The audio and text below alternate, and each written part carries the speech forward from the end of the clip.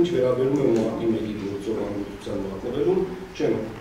համաձայնի այս դիտարկման հետ, սրա մասին կարող եմ վկայել քննչական գործողությունների թվեր։ Միայն 2017 թվականին 100-ից ավել միայն հարցակնություններ, տասնյակներով փորձակնություններ են նշանակվել, որոնք միտված են հանցագործությունը բացահայտելու։ Այսպիսի գործողությունների կատարման տարբերում չի կարող նախաքննական մարմնի գործողությունները դիտարկվել որպես հանգուցություն։ Դուք այն պատկերացում ունեք, որ մեր հնարավորություններն անսահմանափակ են հանցագործությունների բացահայտման։ Ես շատ ուրախ եմ դրա համար։ Բայց ինքներդ տեսնում եք բազմաթիվ հանցագործություններ կան, որոնք իրենց բարդությամբ, բազմադրվածությամբ կարող են որոշակի ժամանակ պահանջել բացահայտման համար։ Մենք 2017 թվականին սպանության քրեական գործով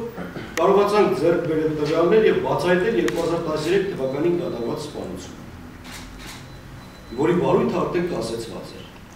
Իսկ մարտի 1-ի քրեական գործի բարդության մասին կարծում եմ բոլորը լիարժեք պատկերացում ունեն։ Դա բարդ գործ է։ Դա հազարից ավել հարցակնման ենթակա անձանց, բազմաթիվ փորձակնությունների կատարման, իրավական գնահատականների խնդիր։ Մեր հարցերի պատասխաններ, այս քրեական գործի բարույթը կասեցված չէ, այս քրեական գործի բարույթը կարճում գնալու որևէ միտում չունի այս բայդրությամբ, այս քրեական գործով իրականացվում են բազմածավալ քննչական արդյունքների հրապարակայնության ապահովման համար։ Երբ որ ես հանրությանը զեկուցելու առիթ ունենամ, այսինքն իրենք ունենան օրինակ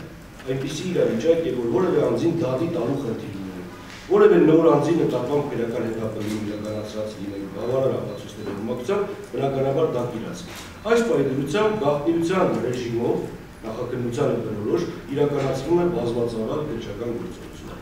Որոշակի արդյունքների ձեռքբերումների մասին անպայման կապահովի համապատասխան հրապարակայնություն։